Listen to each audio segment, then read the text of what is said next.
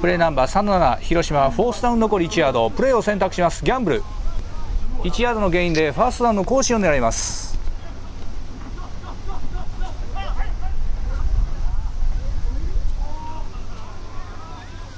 タッチダウン。クォーターバック3番プレーアクションから左方向にブースレック。そこから相手のディフェンダーをかいくぐりパスターゲット1枚のロングパスが通りファーストタッチダウン。